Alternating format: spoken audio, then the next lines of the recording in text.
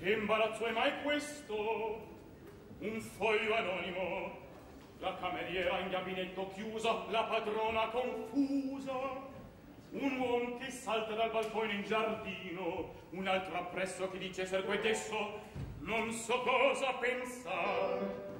Potrebbe forse qualcun dei miei vassalli a simile razza e comune l'ardir ma la contessa ah che un dubbio l'offende la rispetta troppo se stessa e l'onor mio. L'onore dove diamin la posta umano errore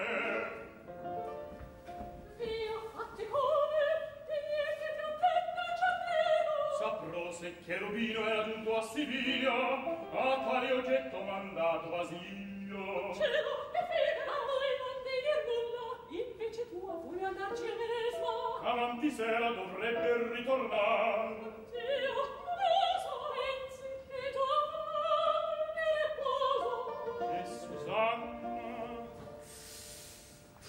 chissà, che la tradita abbia il segreto mio, Vos ho parlato li fo sposar la vecchia. Uccellina, signor!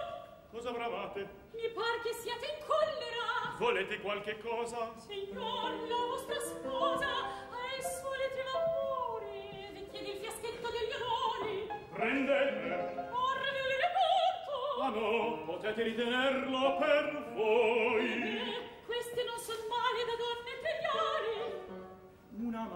che perde il caro sposo sul punto d'ottenerlo pagando marcellino con la dote che voi le proteste. ch'io vi promisi quando credevo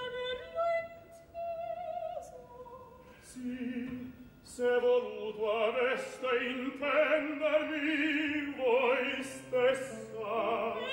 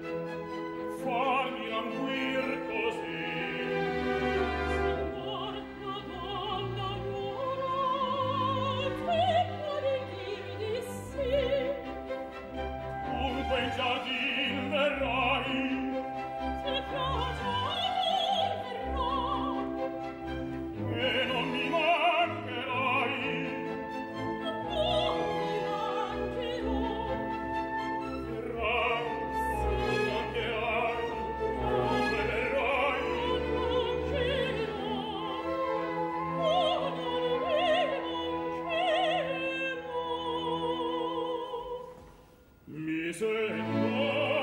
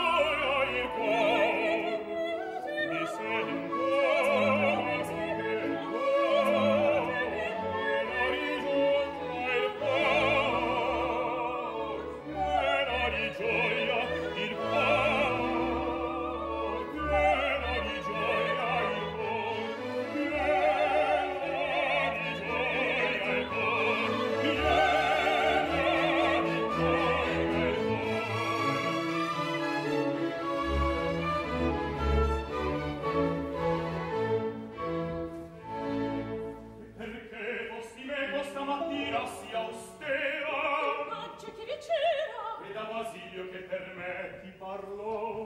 Ma qual bisogno abbiamo noi che un? Vero è vero, e mi prometti poi se tu manchi o tornio.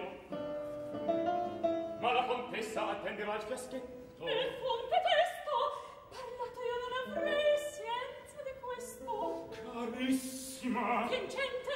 Mia senz'altro!